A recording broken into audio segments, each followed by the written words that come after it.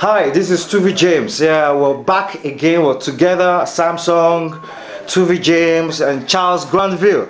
We're together again to make a history in Nigeria.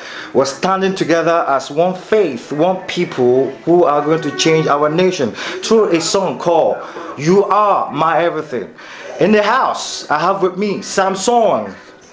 Yeah, um, uh, Tuvi, thank you very much. My name is Samsong, you all know me. Um, we're around for a project, a musical project. As a matter of fact, I'll call it uh, this uh, a history making project.